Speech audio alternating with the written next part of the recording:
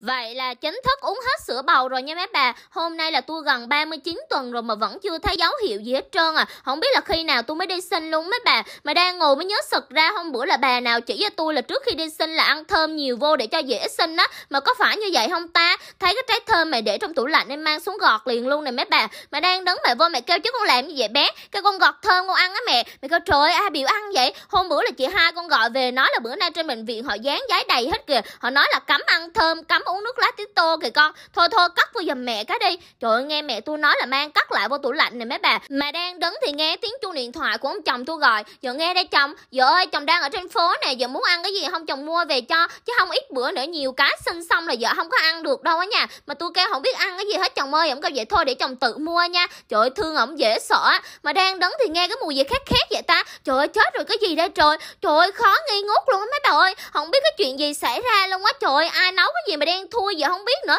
Trời ơi, chán ghê, chắc kiểu này là con bé chứ không ai hết trơn á. Mà đi ra thấy bà đang nói chuyện thúc thích với ai mà cười hí hí ngoài này nữa chứ. Tôi bật mình, dễ sợ luôn á. Ủa bé, em nấu cái gì mà em để nó cháy đen thui rồi em ra em đứng nói chuyện vậy? Bà kêu, ủa vậy hả chị? Chết rồi, tiêu em rồi. Trời ơi, vô thấy cái nồi thịt nó đen thui luôn mấy bà. Bà kêu em đang hâm cái nồi thịt mà con bạn em nó gọi, em quên mất tiêu chị ơi. Tôi nói chán ghê á. Mà đang đứng nghe ông chồng tuấn về, em kêu, vợ vợ, chồng có mua cái này cho vợ nè. Trời ơi, chồng mua nguyên một cái mẹt này cho vợ luôn á. Hôm bữa nghe nói là vợ thèm ăn bánh bao, thèm ăn xôi này kia, cho nên chồng mua nguyên một cái mẹt này đầy đủ dữ dội luôn á nha. Giờ mở ra xem thử. Wow, mấy bà ơi, đủ thứ hết trơn à ngon quá chừng luôn á. Để tôi xuống rủ ba mẹ tôi lên ăn cùng nè mấy bà. Mà đang đi thì dặm phải cái gì đây trời? Thiệt tình ai mà vứt cái cục này ở đây vậy? Không biết nè không biết nhân viên nó vô nó kêu, ủa chị, cái cục này ở đâu vậy? Hồi nãy giờ em tìm quá chừng luôn á, em đắp mặt nạ xong rồi em làm rớt mất tiêu à mà ai về chị lụm được á. Thôi sẵn tiền giờ hút mặt nạ giùm em với nha. Bữa nay em thức khuya dữ quá, muộn quá chừng, chị ơi, mà sắp tết nhất tới nơi rồi. Bởi tôi nói sắp tết nhất tới nơi rồi, bà nào cũng hối hả lo chăm giá hết trơn à. Mà cái mặt nạ này nó thần thánh lắm.